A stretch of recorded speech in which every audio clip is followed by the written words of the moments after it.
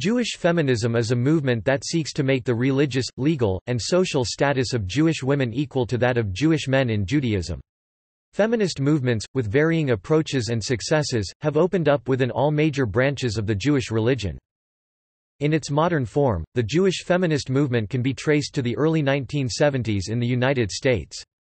According to Judith Plaskow, the main grievances of early Jewish feminists were women's exclusion from the all-male prayer group or minyan, women's exemption from positive time-bound mitzvah mitzvah meaning the 613 commandments given in the Torah at Mount Sinai and the seven rabbinic commandments instituted later, for a total of 620, and women's inability to function as witnesses and to initiate divorce in Jewish religious courts. According to historian Paula Hyman, two articles published in the 1970s were trailblazers in analyzing the status of Jewish women using feminism, The Unfreedom of Jewish Women, published in 1970 in The Jewish Spectator by its editor, Trude Weiss Rosmarin, and an article by Rachel Adler, then an Orthodox Jew and currently a professor at the Reform Seminary Hebrew Union College Jewish Institute of Religion, called The Jew Who Wasn't There, Halacha and the Jewish Woman, published in 1971 in Davka. Also, in 1973, the first American National Jewish Women's Conference was held, in New York City. Blu Greenberg gave its opening address. Jewish feminist theology Various versions of feminist theology exist within the Jewish community. Some of these theologies promote the idea that it is important to have a feminine characterization of God, and or more feminist language in general, within the Siddur Jewish prayer book and service.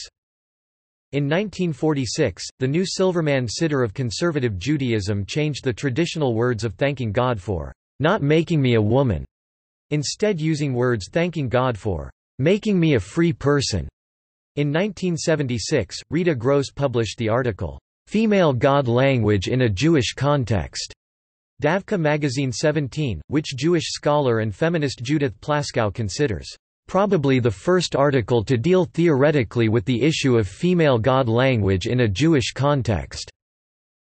Gross was Jewish herself at this time. Reconstructionist Rabbi Rebecca Alpert Reform Judaism, Winter 1991 comments the experience of praying with Siddur Nashim the first Sabbath prayer book to refer to God using female pronouns and imagery transformed my relationship with God. For the first time, I understood what it meant to be made in God's image. To think of God as a woman like myself, to see her as both powerful and nurturing, to see her imaged with a woman's body, with womb, with breasts, this was an experience of ultimate significance. Was this the relationship that men have had with God for all these millennia? How wonderful to gain access to those feelings and perceptions. Siddur Nashim was self-published in 1976 by Naomi Janowitz and Margaret Wenig. In 1990 Rabbi Margaret Wenig wrote the sermon, "'God is a Woman and She is Growing Older' Witches of 2011 has been published ten times three times in German and preached by rabbis from Australia to California. Rabbi Paula Reimers, "'Feminism, Judaism, and God the Mother' Conservative Judaism 46 1993 comments Those who want to use God, she language want to affirm womanhood and the feminine aspect of the deity. They do this by emphasizing that which most clearly distinguishes the female experience from the male. A male or female deity can create through speech or through action, but the metaphor for creation which is uniquely feminine is birth. Once God is called female, then, the metaphor of birth and the identification of the deity with nature and its processes become inevitable. Ahuva Zaches affirms that using both masculine and feminine language for God can be a positive thing, but reminds her Reform Jewish readership that God is beyond gender is God male, female, both or neither. How should we phrase our prayers in response to God's gender? In the Union for Reform Judaism's A Torah, 7, Feminine imagery of God does not in any way threaten Judaism. On the contrary, it enhances the Jewish understanding of God, which should not be limited to masculine metaphors. All language that humans use to describe God is only a metaphor. Using masculine and feminine metaphors for God is one way to remind ourselves that gendered descriptions of God are just metaphors. God is beyond gender. These views are highly controversial even within liberal Jewish movements. Orthodox Jews and many conservative Jews hold that it is wrong to use English female pronouns for God, viewing such usage as an intrusion of modern feminist ideology into Jewish tradition. Liberal prayer books tend increasingly to also avoid male specific words and pronouns, seeking that all references to God in translations be made in gender neutral language. For example, the UK liberal movement's Siddur Lev Chadash (1995) does so, as does the UK Reform movement's Forms of Prayer 2008. In Mishkan Tefillah, the American Reform Jewish prayer book released in 2007, references to God as He have been removed, and whenever Jewish patriarchs are named Abraham, Isaac, and Jacob, so also are the matriarchs Sarah, Rebecca, Rachel, and Leah. In 2015 the Reform Jewish High Holy Days prayer book Mishkan Hanefesh was released, it is intended as a companion to Mishkan Tefillah. It includes a version of the High Holy Days prayer Avinu Malkeinu that refers to God as both loving Father and compassionate Mother. Other notable changes are replacing a line from the Reform movement's earlier prayer book, Gates of Repentance, that mentioned the joy of a bride and groom specifically, with the line, rejoicing with couples under the huppah wedding canopy, and adding a third, non-gendered option to the way worshippers are called to the Torah, offering mibeit, Hebrew for from the house of, in addition to the traditional son of or daughter of. In 2003 The Female Face of God in Auschwitz, a Jewish feminist theology of the Holocaust, the first full-length feminist theology of the Holocaust, written by Melissa Raphael, was published.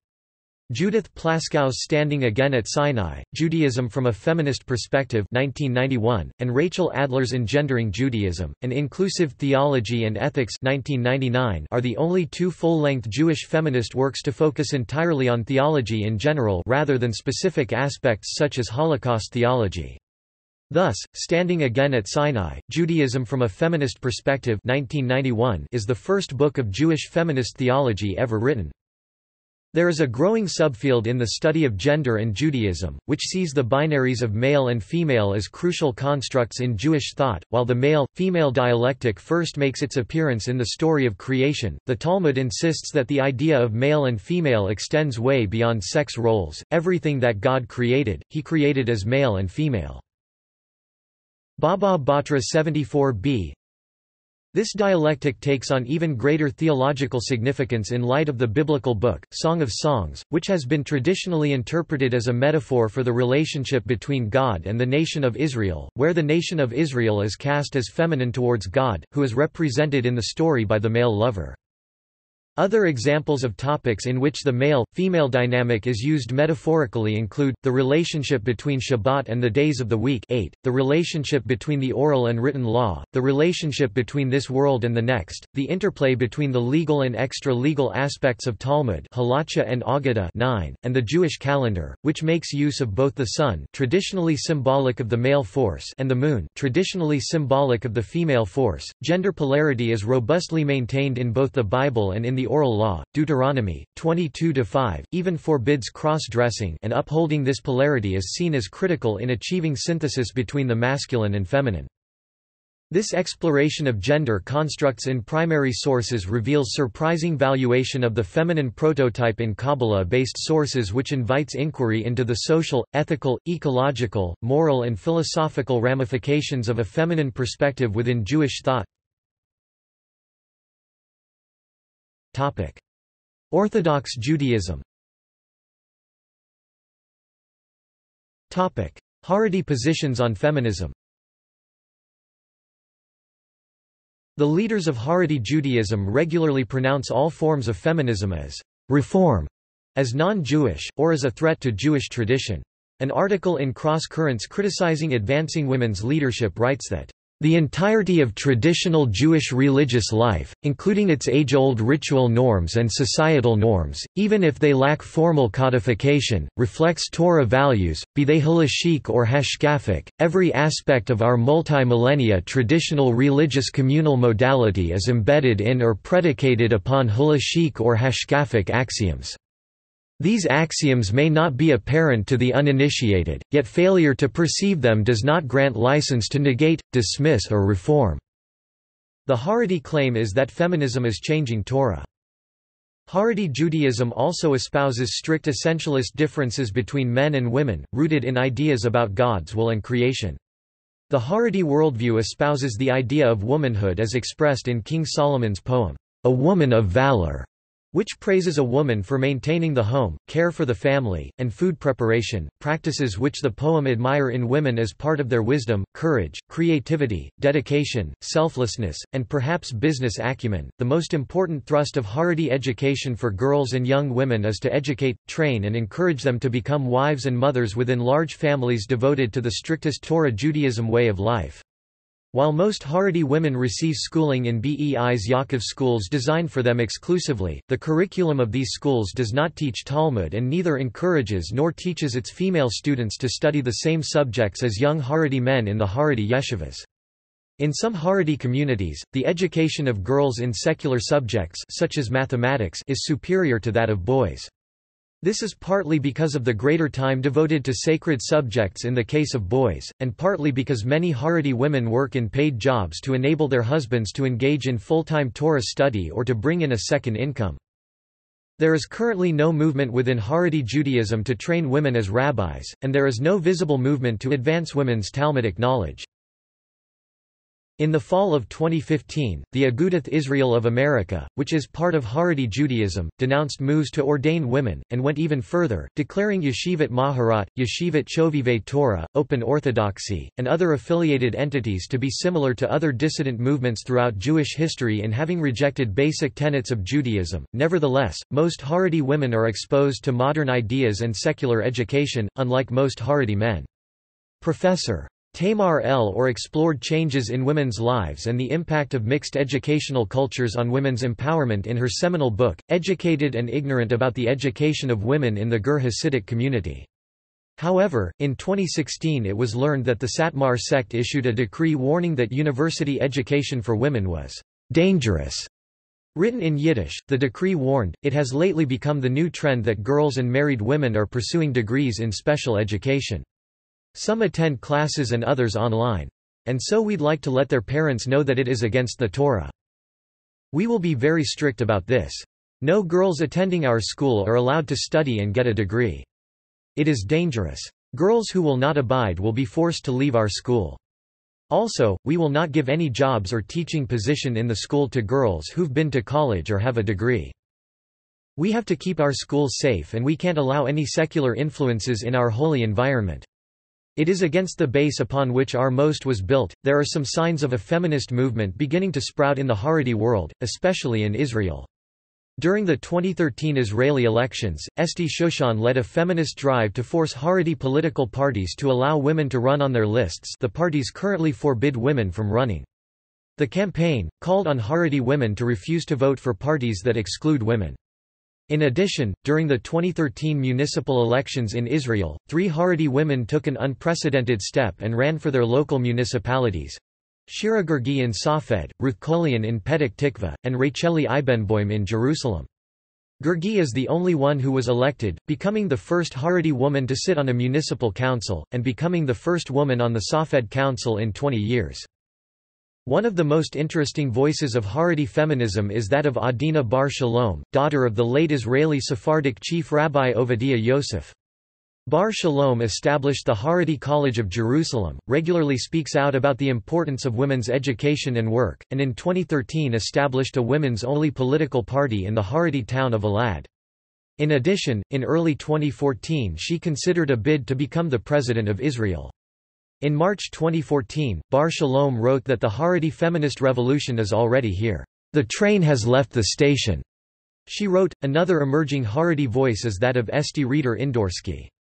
She came out in March 2014 as a popular Haredi columnist who had been writing under a man's name, Ari Solomon, and has a large following under her pseudonym. In an article in Ynet, Reider Indorsky claimed that there is a strong feminist movement brewing in the Haredi community, and asked non-Haredi women to stay out of their own internal revolution. Don't patronize us, she writes to non-Haredi feminists. Don't make revolutions for us, or try to clean out our backyard. We are doing it in our own way and we are doing it better. There is an abundance of Haredi women lawyers and women in startup. There are Haredi women who choose an academic career, and there are Haredi women leading change in every area imaginable. The change will happen. It's already happening. These are signs of the beginnings of feminist movement in the Haredi community in Israel. Non-Haredi Orthodox Jewish feminism Orthodox Jewish feminism, unlike its Reform, Reconstructionist counterparts, seeks to change the position of women from within Jewish law halakha. Orthodox feminism works within the halakhic system and works with rabbis and rabbinical institutions to create more inclusive practices within Orthodox communal life and leadership. Orthodox feminism tends to focus on issues, such as the problems of aguna, fostering women's education, leadership, and ritual participation, women's leadership and making synagogue more women-friendly. Unlike other denominations, Orthodox feminists retain the partition in synagogue and do not count women in a minyan. The all-women's prayer group, Women's Tefillah Group, is an Orthodox practice that began in the 1970s and continues today. New educational programs have enabled modern Orthodox women to study Talmud and other rabbinic literature, at levels intended to be comparable to a yeshiva or kollel for men, including Drisha Institute founded in 1979, Pardes Institute of Jewish Studies, and Matan Women's Institute for Torah Studies. In 1997, Blu Greenberg founded the Jewish Orthodox Feminist Alliance to advocate for women's increased participation participation and leadership in modern Orthodox Jewish life and to create a community for women and men dedicated to such change. JOFA has focused on issues including, aguna, bat mitzvah, women's scholarship, women's prayer, ritual, women's synagogue leadership, and women's religious leadership. Also in 1997, Gail Billig became the first female president of a major Orthodox synagogue, at Congregation Ahavath Torah in Englewood, NJ in 2002. The first partnership minyans were established Shira Hadasha in Jerusalem, and Darkei Noam in New York City. These are Orthodox communities that maximize women's participation in the prayer to the full extent possible within Halakha. Although critics of partnership minyan argue that these are not orthodox, the communities themselves vehemently insist that they are orthodox. The fact that the synagogues have partitions and do not count women as part of the minyan and thus do not allow women to lead any parts of services that require a quorum demonstrate the loyalty to orthodox practice. Dr. Elana Sztokman, former executive director of JOFA, wrote extensively about this phenomenon in her book The Men's Section, Orthodox Jewish Men in an Egalitarian World, and examined this dynamic in which the partnership minyan considers itself orthodox but is often rejected as orthodox by other members of the community. Today there are over 35 partnership minyans around the world. Another major historical event of Orthodox feminism occurred in 2009, when Rabbi Sarah Hurwitz became the first publicly ordained Orthodox woman rabbi. Avi Weiss then launched a training school for Orthodox women in rabbinic positions, Yeshivat Maharat acronym for Mora Hilkatit Rabbanit Toranit. A rabbinic, halakhic Torah teacher, Rabbi Weiss had originally announced that graduates would be called Rabbah but when the Rabbinical Council of America threatened to oust him, he recanted and created the term Maharat. The first cohort of Maharats graduated in June 2013, Maharats Ruth Balinsky Friedman, Rachel Kohl Finegold and Abby Brown Scheier. In 2015 Yaffa Epstein was ordained as Rabbah by the Yeshivat Maharat. Also that year Lila Kagedan was ordained as rabbi by the Yeshivat Maharat, making her their first graduate to take the title rabbi. In January 2013 Tamar Frankiel became the president of the Academy for Jewish Religion in California, making her the first Orthodox woman to lead an American rabbinical school. The school itself is transdenominational, not Orthodox. In 2013, the Israeli Orthodox rabbinical organization Beit Hillel issued a halachic ruling which allows women, for the first time, to say the Kaddish prayer in memory of their deceased parents. Also in 2013, the first class of female halachic advisors trained to practice in the U.S. graduated. They graduated from the North American branch of Nishmat's Yoetzet Halacha program in a ceremony at Congregation Shearith Israel, Spanish and Portuguese Synagogue in Manhattan. However, this event was met with only faint enthusiasm among Orthodox feminists for several reasons.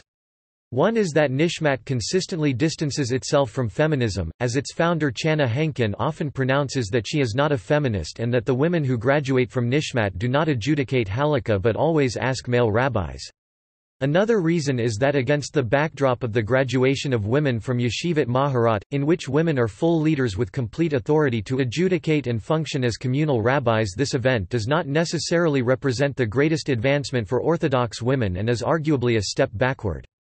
That is, women counseling women only on women's issues without any real halakhic authority of their own keeps women in a somewhat more official version of traditional gender roles. In 2014, the first women were elected as national officers of the Orthodox Union, specifically, three female national vice presidents and two female associate vice presidents were elected. In June 2015, Lila Kagedan was ordained by Yeshivat Maharat and, in keeping with newer policies, was given the freedom to choose her own title, and she chose to be addressed as Rabbi. In 2015, Rabbi Kagedan completed a residency at Shira Hadasha in Australia. However, in the fall of 2015, the Rabbinical Council of America, representing over a thousand Orthodox rabbis across the United States, formally adopted a policy prohibiting the ordination or hiring of women rabbis by synagogues that operate within the boundaries of their figurative jurisdiction, regardless of title. Also in 2015, the Israeli Orthodox rabbinical organization Beit Hillel issued a ruling which allows women to give instruction on Jewish law and to issue halachic decisions.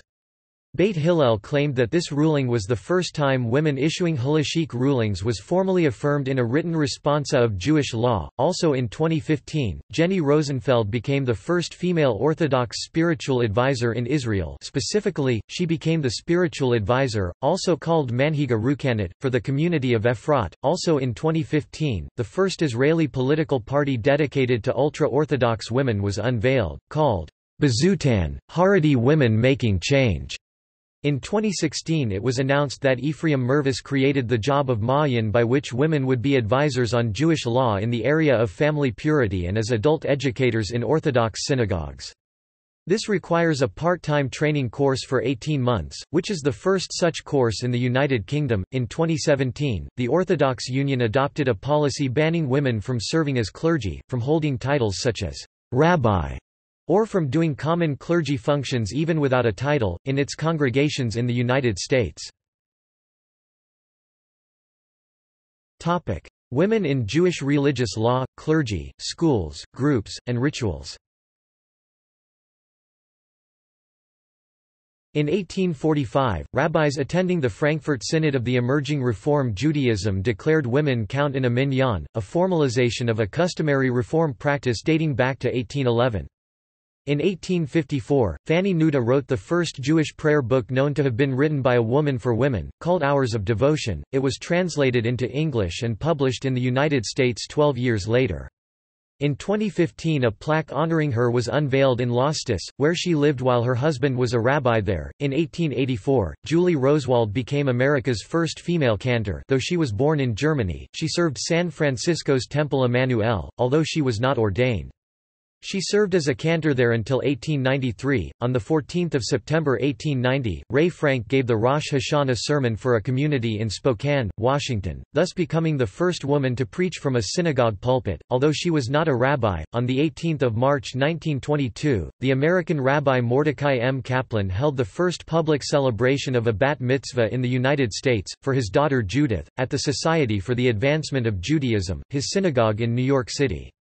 Judith Kaplan recited the preliminary blessing, read a portion of that week's Torah portion in Hebrew and English, and then intoned the closing blessing. Kaplan, who at that time claimed to be an Orthodox rabbi, joined conservative Judaism and then became the founder of Reconstructionist Judaism, and influenced Jews from all branches of non-Orthodox Judaism through his position at the Jewish Theological Seminary of America. Also in 1922, Martha Neumark and her father attended the Central Conference of American Rabbis Conference, where she succeeded in convincing the CCAR to ordain women rabbis. The CCAR declared in a responsa in 1922, Woman cannot justly be denied the privilege of ordination, having voted 56 to 11 in favor of that statement. Yet the board of the college still refused to consider women for ordination, voting as Neumark recalled six laymen to two rabbis against it. Neumark thus earned a qualification as a religious school principal instead of ordination, though she had spent seven and a half years in rabbinical school. Also in 1922 Irma Lindheim entered the Jewish Institute of Religion in New York City, though she eventually left for the greater cause of Zionism. While there, in 1923, she petitioned the faculty to change her status from that of special student to a regular student in the rabbinic program. In response, in May of that year they unanimously recommended the admission of women to the institute on the same basis as men. In 1935, Regina Jonas became the first formally ordained female rabbi. She was ordained by the liberal Rabbi Max Dienemann, who was the head of the Liberal Rabbis Association, in Offenbach am Main, Germany. In 1939, Helen Levinthal became the first American woman to complete the entire course of study in a rabbinical school, which she did at the Jewish Institute of Religion in New York. Her thesis was on women's suffrage from the point of view of Jewish law. However, she only received a Master of Hebrew Letters and a certificate recognizing her accomplishment upon graduation, rather than a Master of Hebrew Letters and ordination as the men received, since the faculty felt it was not yet time for women's ordination as rabbis. In 1955, the Committee on Jewish Law and Standards of Conservative Judaism declared that women were eligible to chant the blessings before and after the reading of the Torah. In the late 1960s, the first Orthodox Jewish women's tefillah prayer group was created, on the holiday of Simchat Torah at Lincoln Square Synagogue in Manhattan. In 1973, the Committee on Jewish Law and Standards passed a takana ruling allowing women to count in a minyan equally with men. Also in 1973, the United Synagogue of America, Conservative Judaism's Congregational Association now called the United Synagogue of Conservative Judaism resolved to allow women to participate in synagogue rituals and to promote equal opportunity for women for positions of leadership, authority, and responsibility in congregational life. In 1974, the Committee on Jewish Law and Standards adopted a series of proposals that equalized men and women in all areas of ritual, including serving as prayer leaders. In 1972, Sally Priesand became America's first female rabbi ordained by a rabbinical seminary, and the second formally ordained female rabbi. After Regina Jonas, Priesand was ordained by the Reform Jewish Seminary Hebrew Union College Jewish Institute of Religion on 3 June 1972, at the Plum Street Temple in Cincinnati also in 1972, a group of ten New York Jewish feminists calling themselves Ezrat Nashim the women's section in a synagogue, but also, "'Women's Help' took the issue of equality for women to the 1972 convention of the Conservative Movement's Rabbinical Assembly, presenting a document on 14 March that they named the "'Call for Change'. The rabbis received the document in their convention packets, but Ezrat Nashim presented it during a meeting with the rabbis' wives. The call for change demanded that women be accepted as witnesses before Jewish law, be considered as bound to perform all mitzvah, be allowed full participation in religious observances, have equal rights in marriage and be allowed to initiate divorce, be counted in the minyan, and be permitted to assume positions of leadership in the synagogue and within the general Jewish community. Paula Hyman, who was a member of Ezrat Nashim, wrote that we recognized that the subordinate status of women was linked to their exemption from positive time-bound mitzvah commandments, and we therefore accepted increased obligation as the corollary of equality.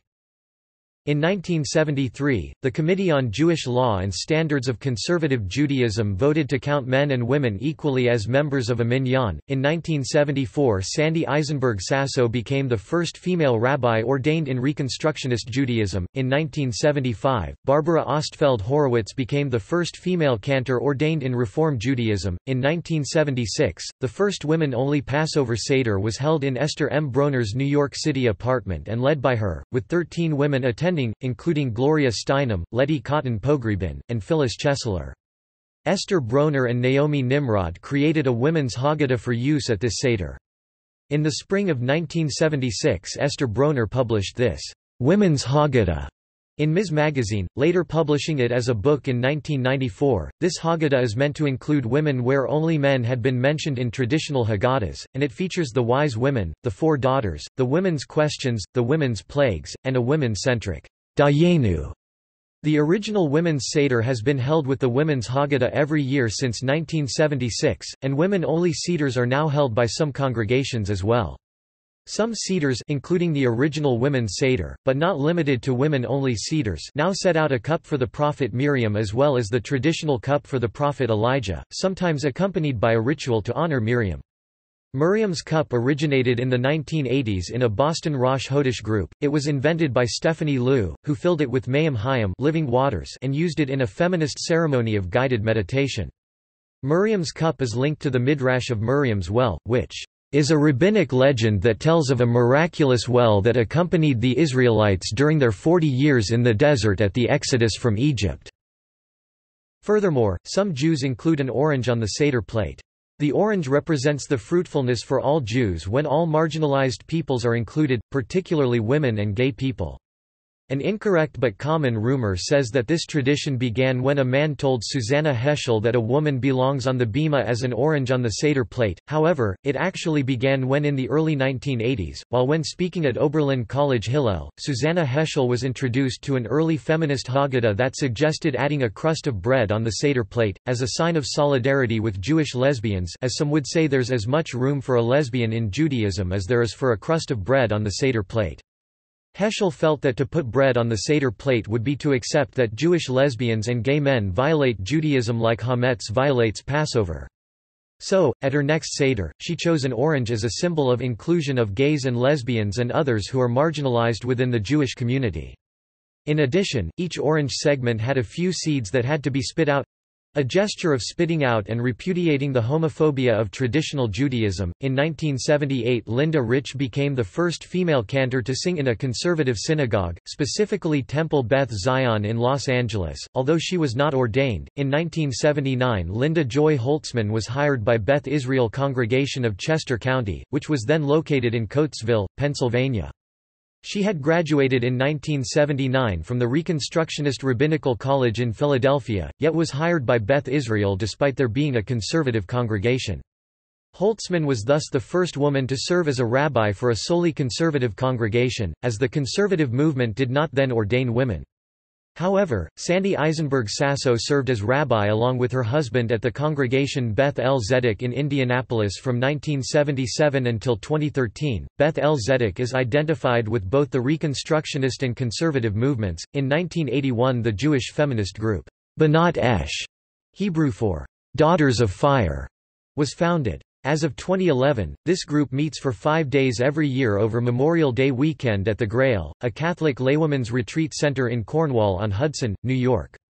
There they, to quote Merle Feld, one of their members, "...explore issues of spirituality, social change, and the feminist transformation of Judaism." Also in 1981, Lynn Gottlieb became the first female rabbi ordained in Jewish Renewal. In 1983, the Jewish Theological Seminary (JTS), the main educational institution of the conservative movement, voted, without accompanying opinion, to ordain women as rabbis and as cantors. Paula Hyman, among others, took part in the vote as a member of the JTS faculty. There had been a special commission appointed by the conservative movement to study the issue of ordaining women as rabbis, which met between 1977 and 1978, and consisted of 11 men and 3 women. The women were Marion Siner Gordon, an attorney, Rivka Harris, an Assyriologist, and Francine Klagsbrun, a writer. Amy Eilberg became the first female rabbi ordained in conservative Judaism in 1985. In 1987, Erica Lippitz and Marla Rosenfeld Barugel became the first female cantors ordained in conservative Judaism. However, the Cantors Assembly, a professional organization of cantors associated with conservative Judaism, did not allow women to join until 1990. In 1997, Gail Billig became the first female president of a major Orthodox synagogue, at Congregation Ahavath Torah in Englewood, NJ. In 1999, Tamara Kolton became the very first rabbi and therefore, since she was female, the first female rabbi ordained in humanistic Judaism. In 2001 Deborah Davis became the first cantor of either sex and therefore, since she was female, the first female cantor ordained in humanistic Judaism. However, humanistic Judaism has since stopped graduating cantors. In 2002, the Committee on Jewish Law and Standards of Conservative Judaism adapted a responsum by Rabbi David Fine, Women and the Minyan, which provides an official religious law foundation for counting women in a minyan and explains the current conservative approach to the role of women in prayer. This responsum holds that although Jewish women do not traditionally have the same obligations as men, conservative women have, as a collective whole, voluntarily undertaken them. Because of this collective undertaking, the fine responsum holds that conservative women are eligible to serve as agents and decision makers for others. The responsum also holds that traditionally minded communities and individual women can opt out without being regarded by the conservative movement as sinning. By adopting this responsum, the CJLS found itself in a position to provide a considered Jewish law justification for its egalitarian practices, without having to rely on potentially unconvincing arguments, undermine the religious importance of community and clergy, ask individual women intrusive questions, repudiate the halakhic tradition, or label women following traditional practices as sinners. Also in 2002, Sharon Hordes became the first cantor of either sex and therefore, since she was female, the first female cantor ordained in Reconstructionist Judaism. Also in 2002, Avital Gerstetter, who lived in Germany, became the first female cantor ordained in Jewish Renewal and the first female cantor in Germany. In 2005, the Kohenet Institute was founded by Rabbi Jill Hammer and Holly Scher. The Kohenet Institute, based at the Isabella Freedman Jewish Retreat Center in Connecticut, offers a two-year course of study to women who are then ordained as Jewish priestesses. Kohenet is a feminine variation on Kohan, meaning priest. The Kohenet Institute's training involves earth-based spiritual practices that they believe harken back to pre-rabbinic Judaism, a time when, according to Kohenet's founders, women took on many more and much more powerful spiritual leadership roles than are commonly taken by women today. A Jewish priestess may, according to Kohenet, act as a rabbi, but the two roles are not the same. In 2006, the Committee on Jewish Law and Standards of Conservative Judaism adopted three responsa on the subject of niddah, which reaffirmed an obligation of conservative women to abstain from sexual relations during and following menstruation and to immerse in a mikveh prior to resumption, while liberalizing observance requirements including shortening the length of the niddah period, lifting restrictions on non-sexual contact during niddah, and reducing the circumstance circumstances under which spotting and similar conditions would mandate abstinence. Also in 2006, Susan Wehle became the first American female cantor ordained in Jewish Renewal, however, she died in 2009. In June 2009, Avi Weiss ordained Sarah Hurwitz with the title Maharat, an acronym of Manhiga Hilkatit Rukat Toranit rather than Rabbi. In February 2010, Weiss announced that he was changing Maharat to a more familiar sounding title, Rabbah. The goal of this shift was to clarify Hurwitz's position as a full member of the Hebrew Institute of Riverdale rabbinic staff. The change was criticized by both Agudath Yisrael and the Rabbinical Council of America, who called the move, "...beyond the pale of Orthodox Judaism." Weiss announced amidst criticism that the term, "...rabbah," would not be used anymore for his future students. Hurwitz will continue to use the title rabbah and is considered by some to be the first female Orthodox rabbi. However Weiss said other graduates of Yeshivat Maharat, which he founded, would not receive the Rabbah title, but the Maharat Smicha. But in 2015 Yaffa Epstein was ordained as Rabbah by the Yeshivat Maharat. Also in 2015, Lila Kagedan was ordained as rabbi by that same organization, making her their first graduate to take the title rabbi. Also in 2009, Tannoz Bahremand Foruzanfar, who was born in Iran, became the first Persian woman to be ordained as a cantor in the United States. Also in 2009, Alyssa Stanton became the first African American woman ordained as a rabbi. In 2010, the first American women to be ordained as cantors in Jewish Renewal after Susan Wehle's ordination, Michal Rubin and and Abby Lyons, were both ordained. In January 2013, Tamar Frankiel became the president of the Academy for Jewish Religion in California, making her the first Orthodox woman to lead an American rabbinical school. The school itself is transdenominational, not orthodox. In 2013, Malka Schaps became the first female Haredi dean at an Israeli university when she was appointed dean of Bar Ilan University's Faculty of Exact Sciences. In 2013, the Israeli Orthodox rabbinical organization Beit Hillel issued a halachic ruling which allows women, for the first time, to say the Kaddish prayer in memory of their deceased parents. In 2013, Saudi Rial's High School in Riverdale, New York began allowing girls to wrap tefillin during Shacharit morning prayer. It is probably the first modern Orthodox high school in the U.S. to do so. On 26 October 2014, Rabbi Deborah Waxman was inaugurated as the president of the Reconstructionist Rabbinical College and Jewish Reconstructionist Communities. Waxman is believed to be the first woman rabbi and first lesbian to lead a Jewish congregational union, and the first woman and first lesbian to lead a Jewish seminary. The Reconstructionist Rabbinical College is both a congregational union and a seminary. In 2014, the first ever book of halachic decisions written by women who were ordained to serve as poskim Idit Bartov and Anat Novoselsky was published.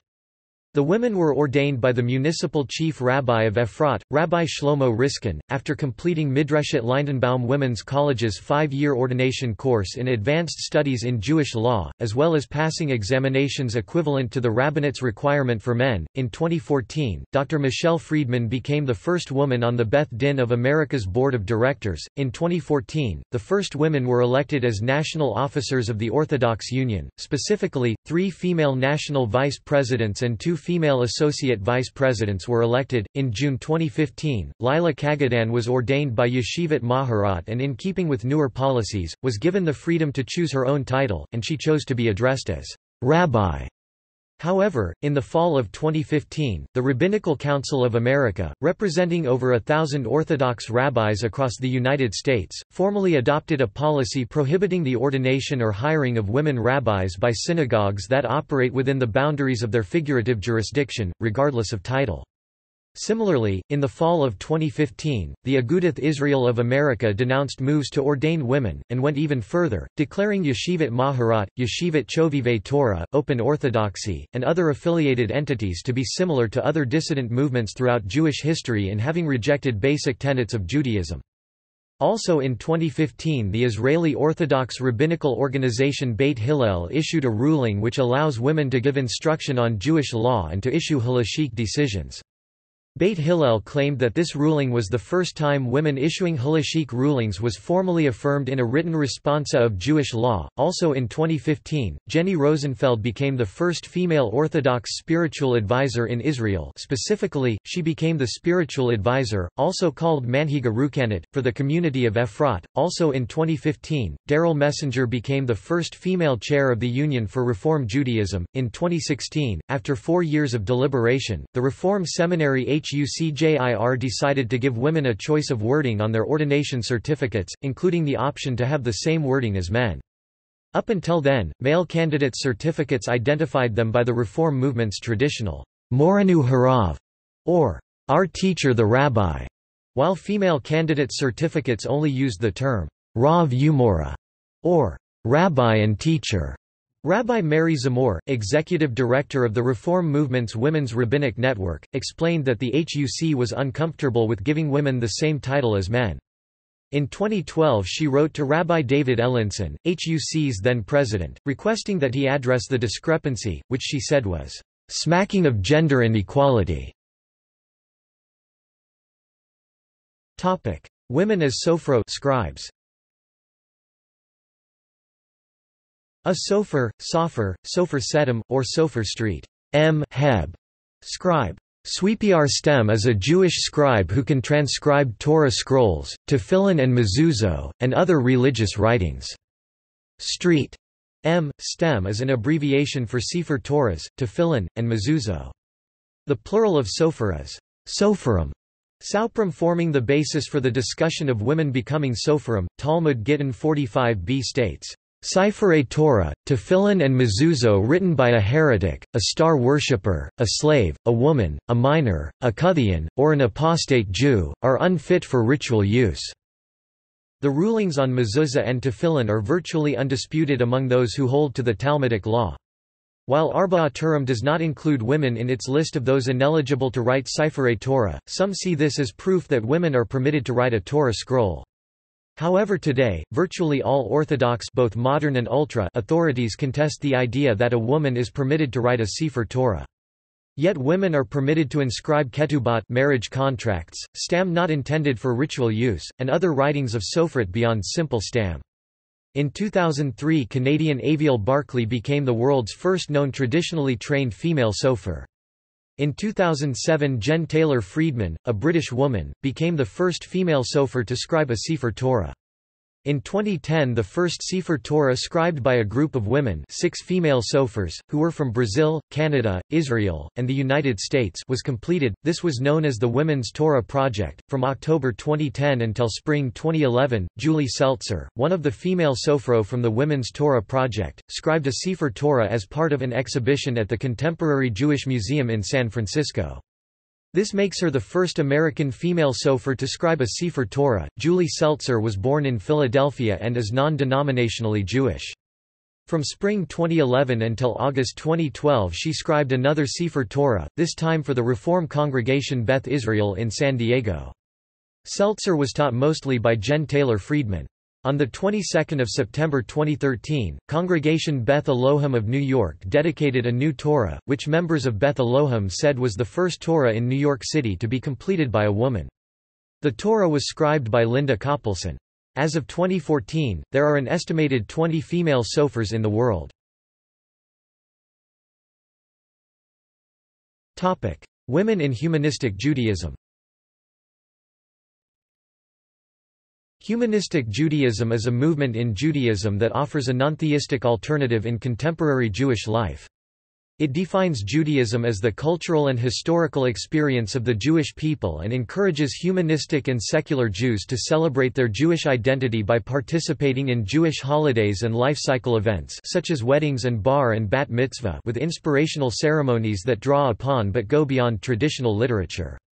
Humanistic Judaism ordains both men and women as rabbis, and its first rabbi was a woman, Tamara Kolton, who was ordained in 1999.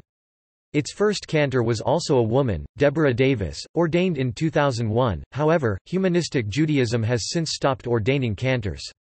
The Society for Humanistic Judaism issued a statement in 1996 stating in part, we affirm that a woman has the moral right and should have the continuing legal right to decide whether or not to terminate a pregnancy in accordance with her own ethical standards. Because a decision to terminate a pregnancy carries serious, irreversible consequences, it is one to be made with great care and with keen awareness of the complex psychological, emotional, and ethical implications. They also issued a statement in 2011 condemning the then recent passage of the no Taxpayer Funding for Abortion Act by the U.S. House of Representatives, which they called a direct attack on a woman's right to choose. In 2012 they issued a resolution opposing conscience clauses that allow religious-affiliated institutions to be exempt from generally applicable requirements mandating reproductive health care services to individuals or employees. In 2013 they issued a resolution stating in part, Therefore, be it resolved that, the Society for Humanistic Judaism wholeheartedly supports the observance of Women's Equality Day on August 26 to commemorate the anniversary of the passage of the 19th Amendment to the U.S. Constitution allowing women to vote. The Society condemns gender discrimination in all its forms, including restriction of rights, limited access to education, violence, and subjugation, and the Society commits itself to maintain vigilance and speak speak out in the fight to bring gender equality to our generation and to the generations that follow.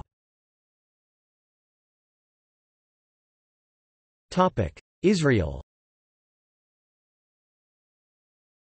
In 1947 David Ben-Gurion agreed that the authority in matters of marriage and divorce would be invested in the hands of the chief rabbinate of Israel, and an agreement was signed stating that among other matters, known as the «status quo letter», in 1953 the Knesset enacted the Rabbinical Court's Jurisdiction Marriage and Divorce Law, 5713-1953.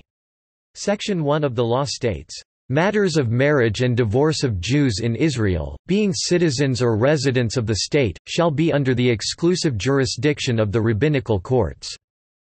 The substantive provision of Section 2 of this law further states, Marriages and divorces of Jews shall be performed in Israel in accordance with Jewish religious law."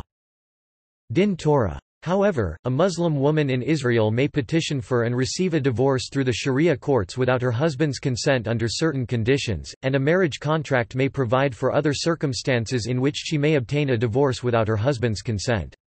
A Muslim man in Israel may divorce his wife without her consent and without petitioning the court. Christians in Israel may seek official separations or divorces, depending on the denomination, through ecclesiastical courts. In 2006, Israel's Supreme Court ruled that women should be allowed to deliver eulogies and that the burial societies, or chevra kadisha, should not impose gender segregation in the cemetery. The ruling was in response to an incident in Petah Tikva in which a woman was stopped from eulogizing her father. However, the court's ruling was not backed up by the Religious Services Ministry until 2012, when Israel's chief rabbinical council ruled that women can deliver eulogies at funerals, but that it is up to the community rabbi to decide on a case by case basis. In 2010, Israel passed the civil union law, allowing a couple to marry civilly in Israel if they are both registered as officially not belonging to any religion. On the 28th of September 2010, the Israeli Supreme Court outlawed public gender segregation in Jerusalem's Mea neighborhood in response to a petition submitted after extremist Haredi men physically and verbally assaulted women for walking on a designated men's-only road. However, in January 2011, a ruling of the Israeli High Court of Justice allowed the continuation of the gender segregation in public buses on a strictly voluntary basis for a one-year experimental period. In 2013, the Israeli Orthodox rabbinical organization Beit Hillel issued a halachic ruling which allows women, for the first time, to say the Kaddish prayer in memory of their deceased parents. Also in 2013, the minimum marriage age in Israel became 18 for females and males. Also in 2013, the religious judges' law in Israel was amended to say that at least four women must be included in the religious judges' nomination committee, including a female advocate in the religious courts, and that the total number of committee members shall be 11. Also in 2013, Israel's chief rabbinate promised to remove the obstacles preventing women from working as supervisors in the state kosher certification system, and Emunah announced the first supervisor certification course for women in Israel. Also in 2013, the Minister of Religious Affairs and Chief chief rabbis issued statements telling ritual bath attendants only to inspect women who want inspection, putting an end to forced inspections of women at mikvahs. In May 2013, after Women of the Wall, led by Anat Hoffman, had engaged in civil disobedience to exercise freedom of religion, a judge ruled that a 2003 Israeli Supreme Court ruling prohibiting women from carrying a Torah or wearing prayer shawls at the Western Wall had been misinterpreted and that Women of the Wall prayer gatherings at the Western Wall should not be deemed illegal. In October 2014 Women of the Wall smuggled in a Torah scroll to the Western Wall Women's section and held their first Torah reading by a woman at the site, which was part of the bat mitzvah of Sasha Lutt. However, Shmuel Rabinowitz, the rabbi of the Western Wall, issued a statement saying in part, in future, efforts will be made to ensure that this does not happen again, and the introduction of Torah scrolls will be banned for everyone, men and women. In December 2014 some of the women of the Wall became the first women to light menorahs at the Western Wall. Specifically, they lit 28 menorahs in the women's section of the wall. Sarah Silverman was among those who attended the lighting of the menorahs. However, this event came after the rabbi in charge of the Western Wall had refused a request from Women of the Wall to place a menorah in the women's section. In 2015, the first Israeli political party dedicated to ultra Orthodox women was unveiled, called Bezutan, Haredi Women Making Change.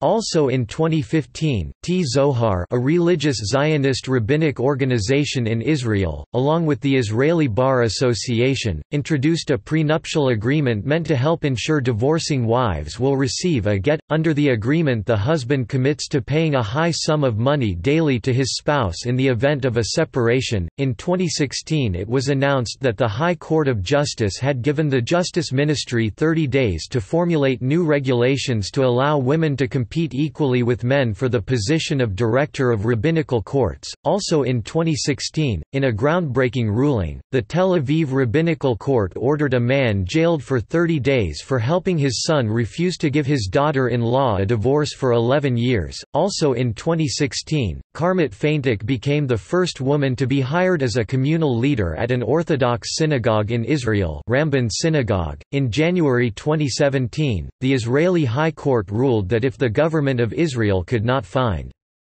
good cause to prohibit women reading from the Torah in prayer services at the Western Wall within 30 days, women could do so. They also ruled that the Israeli government could no longer argue that the Robinson's Arch area of the plaza is access to the Western Wall. Aguna Aguna Hebrew, gwenach plural, aguno, guau literally anchored or chained is a halachic term for a Jewish woman who is chained to her marriage. The classic case of this is a man who has left on a journey and has not returned, or has gone into battle and is mia. It also refers to a woman whose husband refuses, or is unable, to grant her an official Jewish bill of divorce, known as a get. The problem of get refusal became more widespread when Jews lived in countries where civil divorce was available, separate from religious divorce. Outside Israel, an aguna could obtain a civil divorce and remarry via civil marriage, as non-Israeli legal systems generally do not recognize the aguna status, but an aguna would not typically pursue a second marriage, since her first marriage is still valid according to halakha, therefore any other sexual relationships would constitute adultery from her first husband. Furthermore, according to halakha, any children born by an aguna are considered mamzerim bastards. The earliest prenuptial agreement for the prevention of get refusal was developed and accepted by the Rabbinical Council of Morocco on 16 December 1953. The prenuptial agreement gained further approbation in 1981 from Rabbi Shalom Messas, chief rabbi of Jerusalem.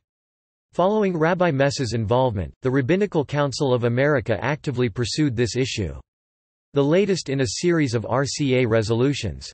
That since there is a significant aguna problem in America and throughout the Jewish world, no rabbi should officiate at a wedding where a proper prenuptial agreement on get has not been executed was passed on 18 May 2006. In 2012 the International Rabbinic Fellowship IRF, an international organization of as of 2012 150 modern Orthodox rabbis, passed a resolution saying that IRF rabbis may not officiate at a wedding unless the couple has signed a halachic prenuptial agreement. IRF rabbis are further encouraged to participate ritually only in weddings in which the couple has signed a halachic prenuptial agreement. Ritual participation includes but is not limited to reading the ketubah, serving as a witness, and making one of the Shiva Barakat. This makes the IRF the only Orthodox rabbinical organization in the world to require its members to use a halachic pre-nuptial agreement in any wedding at which they officiate. Beginning in the 1950s, some conservative rabbis have used the Lieberman Clause, named for Talmudic scholar and Jewish Theological Seminary JTS professor Saul Lieberman, in the Ketubah, requiring that a get be granted if a civil divorce is ever issued. Most Orthodox rabbis have rejected the Lieberman Clause, although leaders of the conservative movement claim that the original intent was to find a solution that could be used by Orthodox and conservative rabbis alike, and that leaders of Orthodox Judaism's Rabbinical Council of America, and respected Orthodox rabbis, including Joseph B. Soloveitchik, supposedly recognized the clause as valid. Later, because some civil courts viewed the enforcement of a religious document as a violation of the constitutional principle of the separation of church and state, conservative rabbis began to require couples to sign a separate letter, stating that the clause had been explained to them as part of premarital counseling, and that both parties understood and agreed to its conditions, recognizing that this letter would constitute a separate civil document, enforceable in a civilian court. However, many conservative rabbis, including some on the movement's own law committee, had growing misgivings about the clause for religious reasons. In 1968, by a unanimous vote of the Law Committee, it was decided that the joint bet din of the conservative movement could annul marriages as a last resort, based on the Talmudic principle of Hafkat Kedushin. According to Rabbi Meir Rabinowitz, the chairman of the joint bet din of the conservative movement, just the threat of this action was sometimes enough to compel the former husband to grant a get. In 1990 Aguna Day was established by ICAR, the International Coalition for Aguna Rights, to raise public awareness of the plight of the Aguna and galvanize action to solve the problem. It is observed on the Jewish calendar date of the Fast of Esther. In 1995 the Israeli parliament gave the rabbinical court expanded legal power to sanction men who refuse to give their wives a get by suspending their driver's licenses, seizing their bank accounts, preventing travel abroad and even imprisoning those who do not comply with an order to grant a divorce. However, women's groups say the 1995 law is not very effective because the court uses sanctions in less than 2% of cases. In 2004, Justice Menachem HaKohen of the Jerusalem Family Court offered new hope to Aguna when he ruled that that a man refusing his wife a get must pay her NIS 425,000 in punitive damages, because r refusal to grant a get constitutes a severe infringement on her ability to lead a reasonable, normal life, and can be considered emotional abuse lasting several years." He noted that T his is not another sanction against someone refusing to give a get, intended to speed up the process of granting a get, and this court is not involving itself in any future arrangements for the granting of a get, but rather, it is a direct response to the consequences that stem from not granting a get, and the right of the woman to receive punitive damages. This ruling stemmed from the public litigation project initiated by the advocacy organization Center for Women's Justice as one of a number of successful lawsuits filed in Israeli civil courts claiming financial damages against recalcitrant husbands. In 2014, the Rabbinate of Uruguay instituted the requirement for all Jewish couples that marry under its auspices to sign a rabbinic pre-nuptial agreement. The agreement states that in the case of the couple divorcing civilly, the husband is obligated to immediately deliver to his wife a get.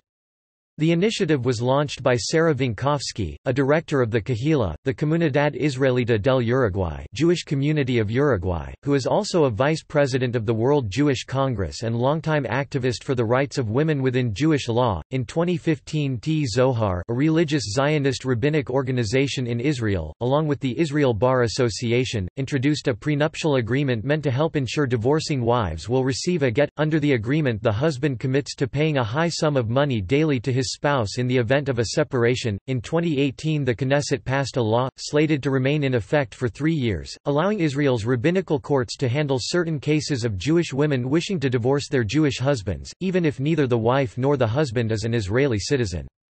Topic see also Agunah Feminist Jewish ethics Gender and Judaism Homosexuality and Judaism Jewish view of marriage Jewish Women's Archive List of Jewish feminists Ms. Magazine rejects AJC advertisement honoring three Israeli women Ordination of Women Orthodox Jewish Feminism Partnership Minyan Sexism in Israel Women in Judaism Women of the Wall topic Notes topic Further reading Feldman, Emmanuel.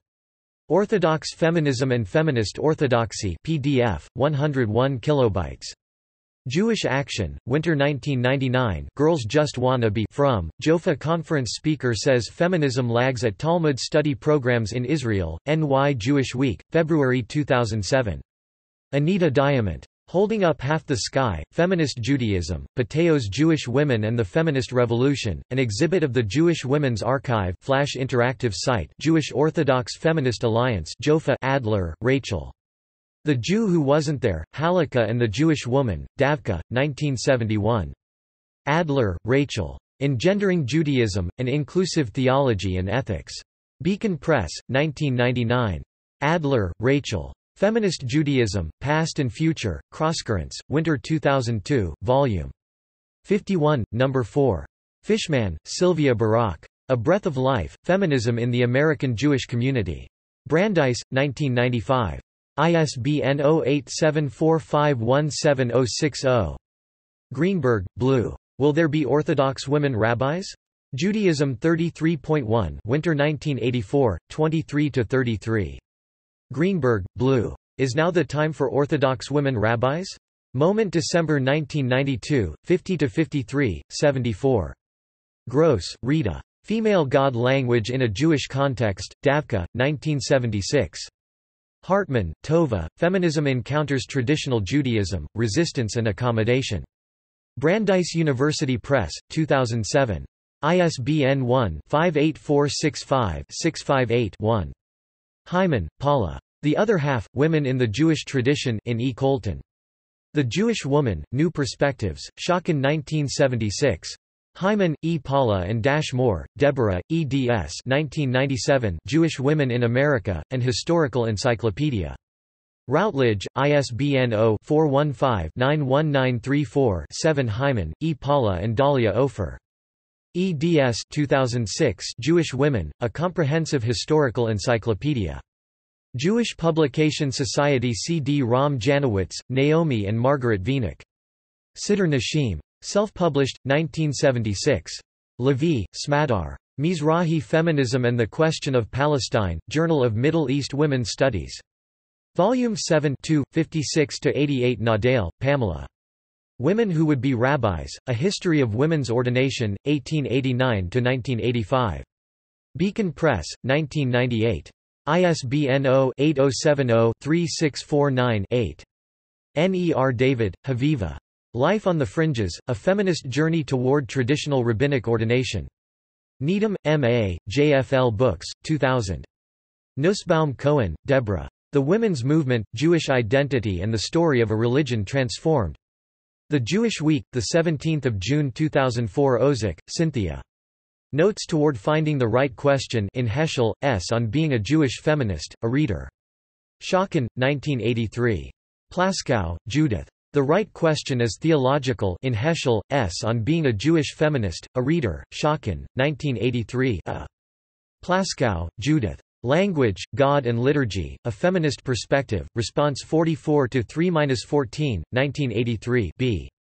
Plaskow, Judith. Standing Again at Sinai, Judaism from a Feminist Perspective, Harper and Row, 1990 a. Plaskow, Judith.